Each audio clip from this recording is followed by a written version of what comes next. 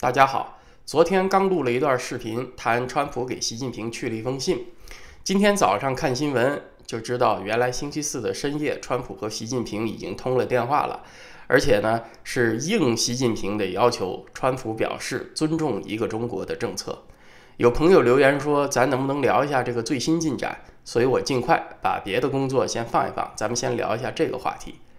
如果有朋友看过我以前录的视频啊，我以前确实说过，中美关系在酝酿着变化，而且川普他本人也有意愿对这个关系做比较大的修正。但是我并没有说过川普会在一中政策上和习近平死磕。我上次聊到这个一中政策的话题，是川普见了马云不久，几天以后扭过脸来对《华尔街日报》的记者说，和中国一切都可以谈判，包括一中政策。呃，我当时的一个猜测呢，是马云可能带来了一些条件，川普想了几天，或者也跟身边的人商量了一下，觉得不太满意，所以又把一中政策拿来说事儿。但是我们要看到这个事情自始至终，威胁要修改一中政策，都是川普一个人的表述。从他接蔡英文的电话开始挑起这个事儿，那个时候呢，他的执政团队里面的别的成员都还没有就位。相反，他所提名的国务卿迪勒森虽然也是一个对中的鹰派，主张在南海问题上采取强硬立场，但是他同时也说，并没有计划要改变一中政策。川普任命的贸易代表纳瓦罗是吧？他是《致命中国》一书的作者，他也没有发表观点说要修改一中政策。这个星期二，呃，美国智库，美国的亚洲智库有十几个顶级的专家。写了一封联名建议书给现在的政府。这些专家大部分呢是嗯前任的亚太事务的官员，他们也是建议要对北京强硬，但是不要修改一中政策。所以现在川普表示支持一中啊，我认为是他接纳他的团队其他成员意见的表现啊，是他采纳了他的团队别人的意见。从这个角度来讲，我认为其实是一个积极现象。川普一开始质疑一中的时候呢，也许是从商业的直觉出发，觉得这是一个好的谈判筹码。那个时候主要是以他的个人意志为主导，有一些异性所致、无拘无束的特点。而在现在呢，他的团队成员在政策的大方向上开始发挥重大的影响，那我觉得是一件好事儿。这其实是治理国家的一个正常状态。这个白宫出的新闻稿里面还有这么一句话，说。美中两国将派代表进行接触，就双方共同关心的各项议题进行磋商探讨。呃，如果大家有印象的话，就是川普的女儿伊万卡去中国大使馆拜年这个事情呢，我做了一段视频，我里面谈到，就是说我自己的感觉呀，就是拜年意味着中美谈判就要开始了。所以从刚才那个新闻稿里那句话是吧？啊，双方要派代表接触，就双方共同关心的问题进行磋商和探讨。所以这个谈谈判差不多这个时候就到了。当初川普提一中政策的时候啊，他是说，如果我们不能和中国在贸易上达成协议，我们为什么要受一中的束缚呢？这其实是一个条件问句，他是把一中政策和贸易相挂钩的。呃，但是呢，南海不是这个问题啊，就是南海是和贸易相并列的另一个议题。这个事情我在以前谈过，以后有机会咱们再聊。嗯，现在的情况是什么呢？就是习近平觉得，如果不能先保证一中就开始谈判的话，就有被逼城下之盟的感觉，所以继续纠结这一点，反而成了中美开始谈判的一个障碍了。呃，所以川普有了扭转，但是这个转向它也是有过程的。他毕竟是把和习近平的通话放在最后，而且先让伊万卡去拜年，然后又发了一封信，最后一看可能不表达支持一中，那这个谈判就没法开始，所以才走到了今天这一步。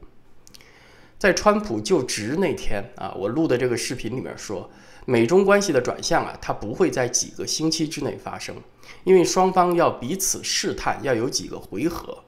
但是，我，我那段视频里面是说，我预期这种转变的结果，我们在今年就能够看得到。那我现在大体上也是持这个看法。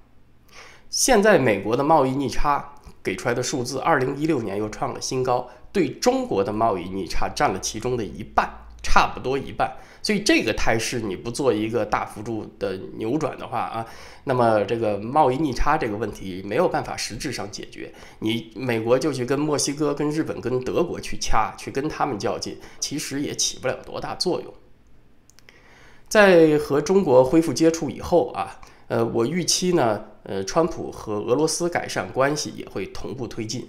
从逻辑上来讲，和俄国改善关系。应该是在和中共达成协议之前，因为只有这样才能在谈判当中让中共觉得他并不是一个能够和美国平起平坐的对手。啊。我说这个意思呢，大家应该明白，就是说在中美谈判当中，你即使是谈贸易，但实际上像朝核、像南海、像别的问题，它也都是隐形的处在这个棋盘之上，它是完整的一盘棋。削弱中俄这种半结盟的关系，能够把整个就是中共的战略优势给它拉低，便于川普在所有重要的问题上取得更好的结果啊。所以这整个是一个系统性的工程，你不能指望它在几个星期之内啊，就像川普发布移民禁令一样，马上就能够看到结果。但是呢，我在这个。嗯，看到纽约网上有《纽约时报》对一个人民大学教授的采访，说这个事儿啊，说川普现在支持一中了，是中国一个重大的外交胜利，这会让川普看起来像纸老虎，让他在谈判中处于不利地位。那这个说法肯定就又过了，因为承认一中只是在这一个问题上回到起点，不改变现状，它并不改变在其他方面的实力对比，对吧？呃。那下面呢，再说一下第九巡回法庭昨天做出的这个判决，就是继续维持暂停执行川普的移民禁令。那么现在这个司法进程当然是对川普不利了啊！川普说要把官司打到最高法院，大家法院上见。那么就这个事情进程的观察呢，我目前有一个印象，也跟大家交流一下，就是对川普这个人的印象。川普这个人，他当然他是有一些显著的优点的，就是他直觉很敏锐。他能够察觉到美国民众对这种政治正确现状的不满，有急于改变现状的愿望。同时，川普也有魄力、有行动力，他很少受陈规教条的束缚，这是他的优点。但是他也有一个很大的缺陷，就是他缺少对事物的一种哲学性的概括的认识。他对他自己所生活的这个国家、这个制度的本性缺少了解。你像美国这种分权的制度，就是任何一级权力，它都有多个维度的别的力量在牵制它。这种制度的设计，本质上就是为了预防激进变革的发生。再说的简单点儿，这种制度的设计，它的目的就是不让任何重大的改变在一夜之间发生。所以在这种环境里面呢，天然的防守它是一种比较强的。作战方式，而进攻天然处于一种比较不利的地位。这就像你开一辆车，你想让这辆车在三秒钟之内速度从零达到一百公里，决定你能不能达到这个目的的首要条件是要看这个发动机的设计是不是能够达到这个目的，而不在于你踩油门花了多大的劲儿，对吧？所以，作为川普来讲，你要设计战略，必须和你所存在这个环境相符合。军事上有一个一般的原则，叫做避实击虚嘛，就是你要避开敌人的拳头，从他的软肋下手。而川普的战术是要在对手防御最坚强的那一点上发起正面的最强的攻击。这就像这个武侠片里面一样，两个高手对掌啊，两只手掌啪一下对在一起，然后俩人拼内力，最后不管获胜与否，他都必然会带来重大的伤亡和损失。当然不是说川普的这一轮强烈的冲击没有效果，有啊，我们现在渐渐看到有政界、法律界的人士出来说话，支持川普的观点。尽管呢，他们不敢很正面、很强的支持川普，态度上还是比较谨慎的。还有最近的一个调查结果显示，就是今天我在德国之声看到的啊，就是欧洲有十个国家，大部分人也反对继续接纳穆斯林移民。就是说，川普这种强烈的冲击呢，他也能把整个环境带热了。现在他在司法上是触礁搁浅了，但最终的结果他未必会输。而且现在这种状况也会对美国制度的若干基石性的观念产生冲击，所以它影响是会蛮深远的。那这方面呢，嗯，我也在思考，如果有了更多的想法，再和朋友们交流。